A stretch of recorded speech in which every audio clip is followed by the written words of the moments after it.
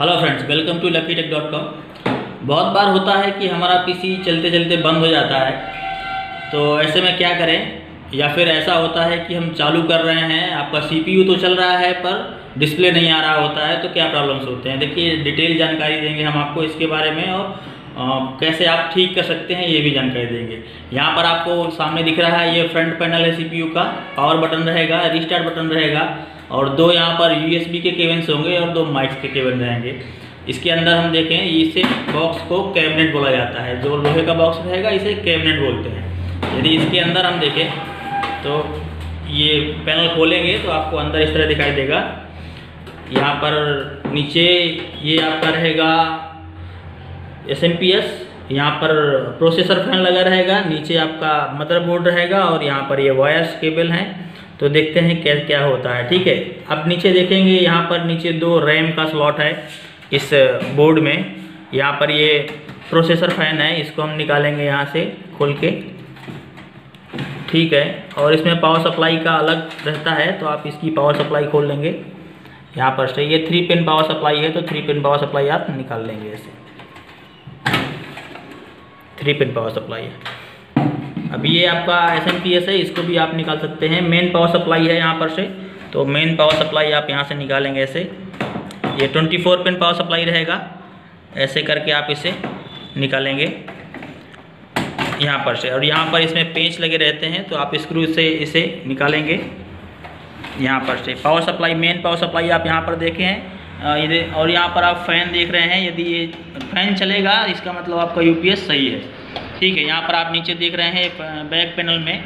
ये दो पी के पोर्ट होते हैं, ये आपके दो बी पोर्ट होते हैं, ये आपका एल पी टी पोर्ट होता है, और ये आपके यू एस बी के जैक होते हैं। यहाँ पर आपका आर जे फोर्टी फाइव ये कनेक्टर होता है नेटवर्क कनेक्शन के लिए, और ये स्पीकर पोर्ट होते हैं। यहाँ पर आप वीजे केबल लगा करके मोनीटर में देते हैं और यहाँ पर कोई भी यूएसबी केबल यूज़ कर सकते हैं। यहाँ पर एलपीटी का प्रिंटर यूज़ किया जाता था, लेकिन अब वो प्रिंटर नहीं आता है। ठीक है तो इसको हम देखते हैं निकाल के। आप ये एस एम पी एस निकालेंगे। ये एस एम पी एस है। ये पूरे सी पी यू के अंदर सप्लाई करता है। पावर ठीक है, इस तरह से आप निकाल लेंगे। अंदर देखेंगे, यहाँ पर दूसरा केबल लगा है। हार्ड डिस्क में ये बोलते हैं इसको आई डी ई केबल अब यहाँ पर से आप ऐसे इसको घुमा के निकालेंगे। ठीक है? यहाँ पर से भी आप ऐसे निकालेंगे। ये पेन के हिसाब से लगा होता है, आप पेन देख करके लगाएँगे। ठीक है, ऐसे आप निकाल लेंगे। ये पेन दिख रहे हैं आपको? स्लॉट दिख रहा है यहाँ पर से। तो ये पेन देख करके आपको ऐसे ही यहाँ पर आईडी का स्लॉट दिख रहा है, आप ऐसे लगाएँगे। ठीक है? ये दो ब्रिज होते हैं, एक साउथ ब्रिज और एक नॉर्थ ब्रिज यहाँ पर आपको बगल में दिख रहा है प्रोसेसर प्रोसेसर आप ऐसे खोलेंगे। यहाँ पर से इस ये तिल लगा है, इसको पकड़ के ऐसे पीछे खींचेंगे और ऐसे ऊपर करेंगे। पीछे ऊपर तक लाएँगे ऐसे, फिर आप इसे नॉर्मली उठाएँगे आराम से, बिल्कुल आराम से। ये है आपका प्रोसेसर ठीक है, इसी को बोलते हैं माइक्रो प्रोसेसर माइक्रो प्रोसेसर आपका आता है P two P three P four ऐसे करके कोड कोर और अक्टा कोर वगैरह और आपका आई कोर में भी आता है, ऐसे। ठीक है, इसके बाद इसे आप चेक करके, साफ़ करके इसके ऊपर एक लगाया जाता है गम जो कूल करने के लिए होता है पेस्ट लगाते हैं और इसको आप देख के कोने में एक इसका स्लॉट नहीं होगा, ऐसे देख करके और यहाँ पर भी एक स्लॉट नहीं होगा। पेन देख करके आप ऐसे इसको वापस रखेंगे, ये बिल्कुल फिट हो जाएगा ऐसे ही। ठीक है? और वापस आप इसको ऐसे दबाएँगे और इसके बाद ऐसे क्लिक कर देंगे। ठीक है? यहाँ पर आप रैम लगाते हैं, दो रैम का स्लॉट रहेगा।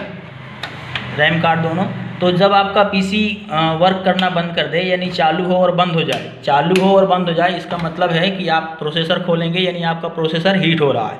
तो आप प्रोसेसर खोलेंगे, उसके ऊपर ये पेस्ट लगाएँगे, एक बार फिर से प्रोसेसर को रखेंगे और कूलर यानी कूलिंग का सिस्टम यानी आपका फ़ैन काम करना चाहिए। ठीक, इसके बाद ये कुछ रजिस्टर्ड लगे हैं यहाँ पर। ये आपको एक बैटरी दिख रहा होगा यहाँ पर।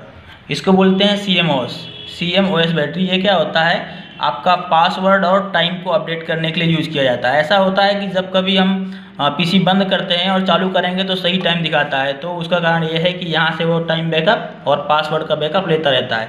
यदि आप इसको निकाल देंगे तो पासवर्ड और टाइम दोनों ब्रेक हो जाएगा।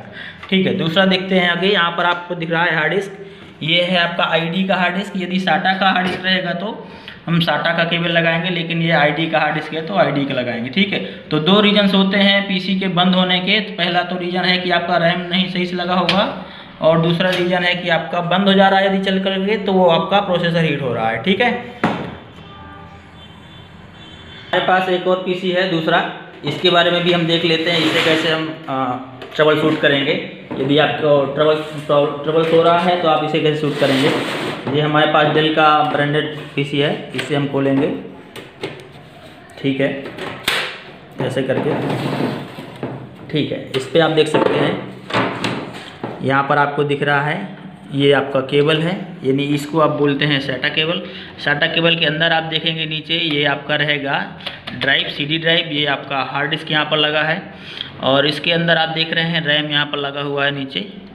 इसे आप पेन को इस तरह निकालेंगे, आप यहाँ पर से देख पाएँगे पेन। ये नीचे पेन लगा है, इस पेन को आप ऐसे बाहर की ओर करेंगे और इस साइड भी ऐसे लगा है, उसे अभी आप बाहर की ओर करेंगे ऐसे।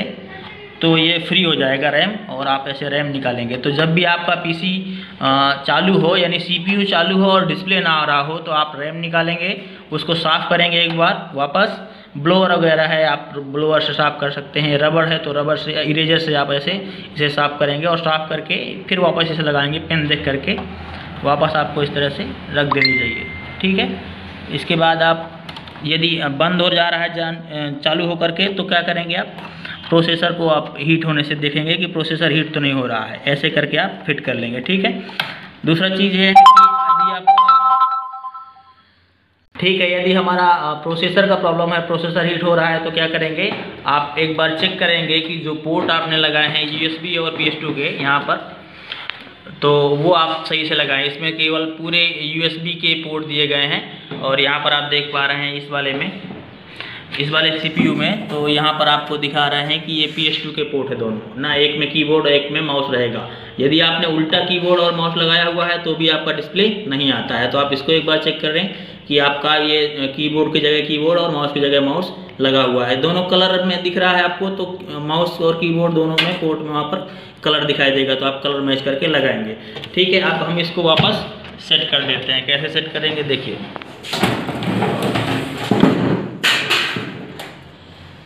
इसको यहाँ पर रख ले पास में। ठीक है। ये केबल है आईडी का। यदि आपके पास साटा केबल है तो साटा केबल के यहाँ पर पोर्ट लगे हुए हैं। साटा केबल के पोर्ट है ये। तो साटा केबल आप आप यहाँ पर लगाएँगे, ठीक है। इसके बाद हम हमारे पास आईडी केबल है तो हम आईडी केबल यहाँ पर देख के लगाएँगे। ये आपको केबल दिख रहा है। ये यदि यहाँ पर नोच बना हुआ है तो यहाँ पर भी एक नोच खाली होगा। तो हम ऐसे देख के उसको ऐसे लगा देंगे। ठीक है। ऐसे।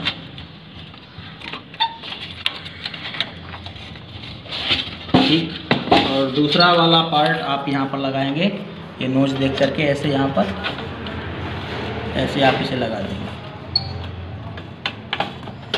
ठीक है। इसको आप ऐसे करेंगे। दूसरा, अब आप वापस रैम लगा देंगे।